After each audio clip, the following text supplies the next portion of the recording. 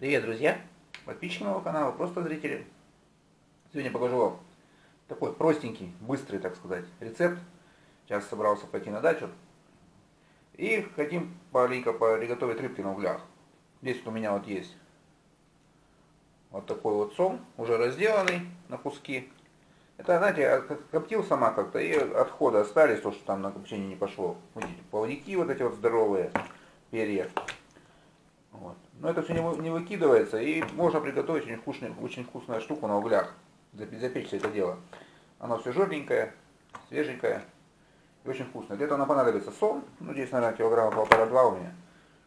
Сейчас мы его просто присаливаем. Присаливаем хорошенько.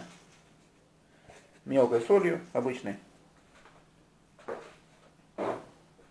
Так, присолили.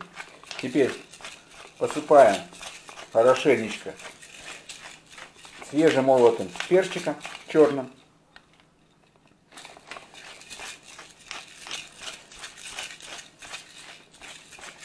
Для аромата. Так. Очень хорошо подходит к рыбке сушеный кориандр молотый. Можете потолочь, свежий взять под зернышках. Ну, возиться не будем, это же быстрый рецепт. Просто засыпаем хорошо кориандром, очень хорошо к рыбке заходит. Дальше натираем цедру лимона, только желтенькую часть, самую пахучую. Сок лимона нам здесь не нужен.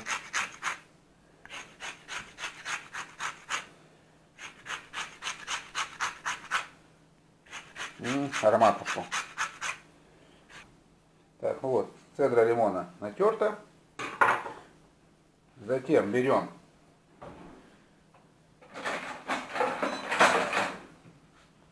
несколько зубчиков чеснока, может прям в кожуре, и даем через, даем, через чеснокодавилку.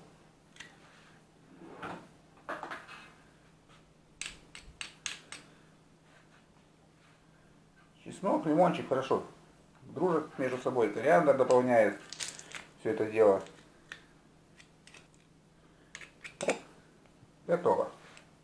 Так, и теперь в эту смесь добавляем ложку томатной пасты. Ну, можно чуть больше, вот так, две.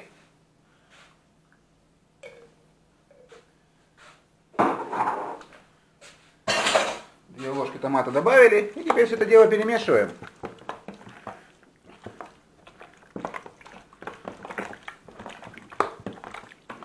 Сом рыбка жирная. И очень хорошо добавить в нее немного кислоты. Но если добавить лимонную кислоту, вот на этом этапе, то рыба начнет у нас вариться до того, как я с ней дойду. До углей. Все, сейчас наш маринад готов. Пахнет очень здорово. Попробуйте. Очень простой маринад, но очень вкусный. Смотрите, какой цвет у рыбки получается, да?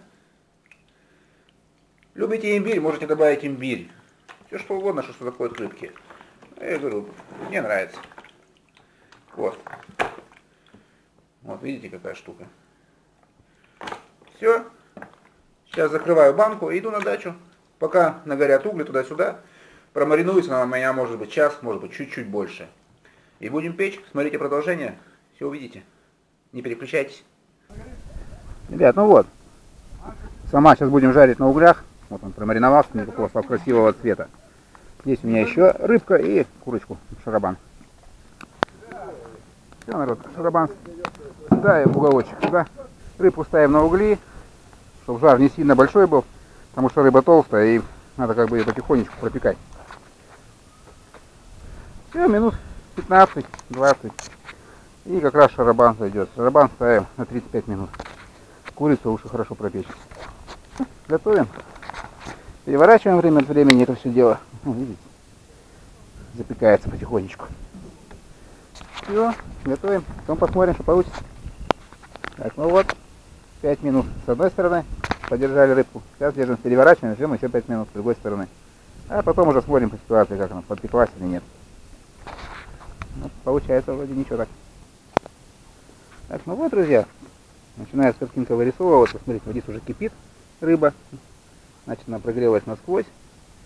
Сейчас еще маленечко, минут 5-7. И можно будет снимать. Маленько дать ей отдохнуть и подавать к столу. Так, народ, ну вот все. Сом готов практически. Смотрите, что у меня получилось. Так вот, вот шарабанчик. Вот маленький цыпленочек. Курочка, рыбка, шарабанчики. Все пропеклось. Курочки сок идет прозрачный, белый. Значит, все готово. Ну, рыбка там без разговора вообще, видите. Все отлично. Ну все, друзья. Кому понравилось быстрое приготовление еды на костре, ставьте пальцы вверх. Кому не понравилось, пальцы вниз. Пишите свои комментарии. Не забывайте подписываться на канал. Скоро осень. Будут новые рецепты вяленой рыбки. Очень много идей, чего вам показать. Будем делать. Ну все, всем до встречи, всем пока.